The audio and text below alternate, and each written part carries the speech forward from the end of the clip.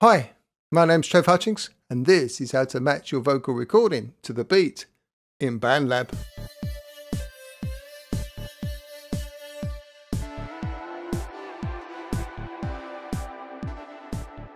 If your phone is suffering from audio latency or your vocals are not quite matched to the beat of your song, then here are some of my tips on how to fix it.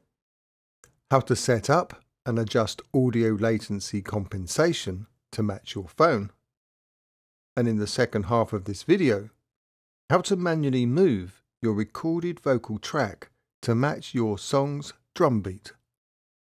First, make sure you've set up BandLab's latency compensation correctly.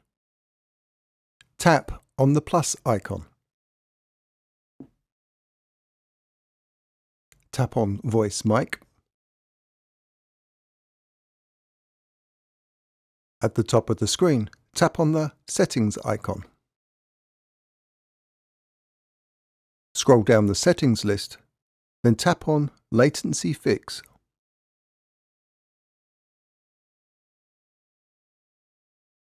Unplug any headphones or other devices connected to your phone so the sound comes out of your phone speakers.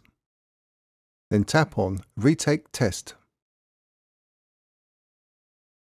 Find somewhere quiet with as little background noise as possible. Then tap Start Test.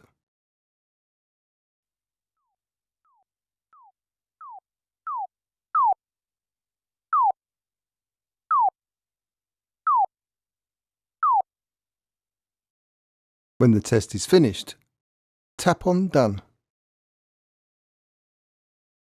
And then, at the top of the screen, tap on the wave icon. Now, record some vocals. Then tap the X icon at the top of the screen.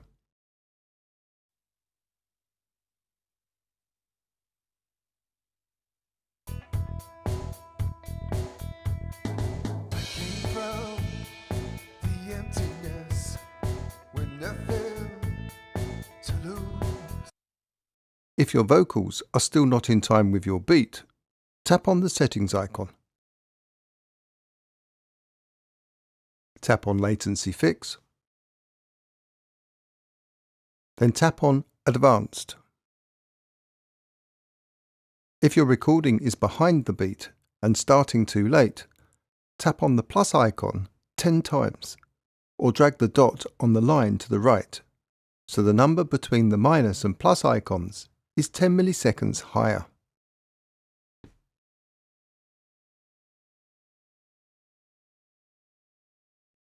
If your recording is ahead of the beat and starting too early, tap on the minus icon 10 times, or drag the dot on the line to the left.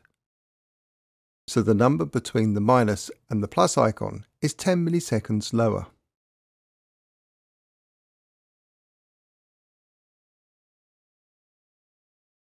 then tap on Save. And now tap on Done. And at the top of the screen, tap on the wave icon.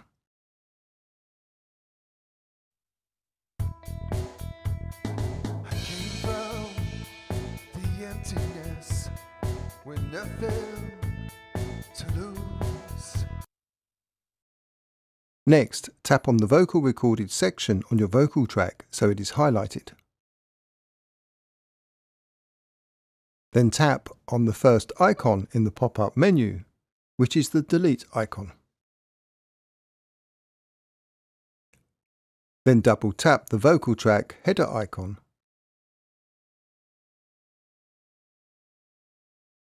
And record your vocals again. Then, at the top of the screen, tap on the X icon.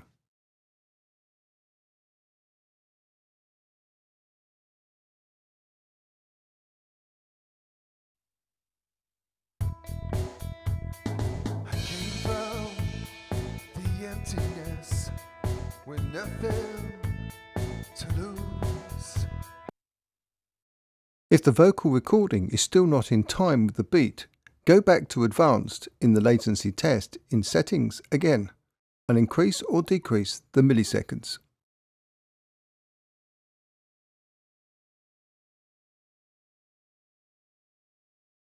If you have recorded your vocals already, or the timing isn't an audio latency issue, you can edit the vocal track instead. Tap on the settings icon.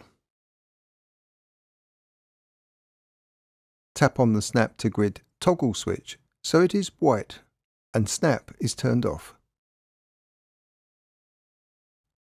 Then at the top of the screen, tap on the wave icon. Drag the screen with your finger so the white vertical track position marker is at the beginning of the first of your vocals. The vocals appear on the recording as blobs, so position the track position marker at the beginning of the first blob. Now tap on the recording so it is highlighted. Then tap on the third icon on the pop-up menu, which is the slice icon. Tap on the highlighted section of the recording, which is before the first vocals. And tap on the delete icon on the pop-up menu.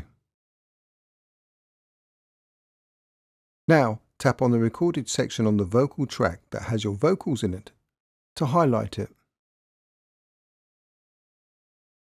If your vocals are ahead of the beat and starting too early, drag the vocal recording to the right.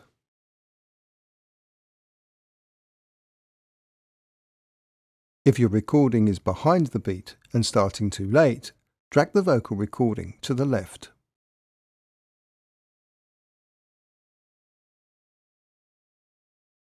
Now play your recording to check the timing.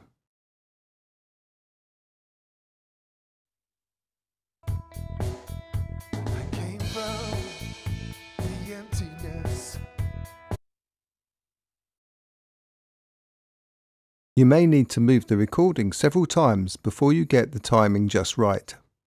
A tip here is to line up the white vertical track position marker with the beginning of a bar. Then line up the beginning of one of the blobs with the beginning of the bar.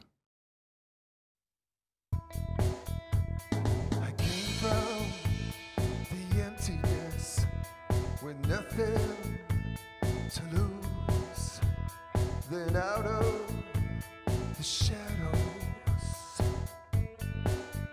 came you. If you've lined up the correct blob with the beginning of the bar, your vocals should now be matched to the beat. If you've enjoyed this video, do give us the thumbs up and click on that subscribe button. Cheers.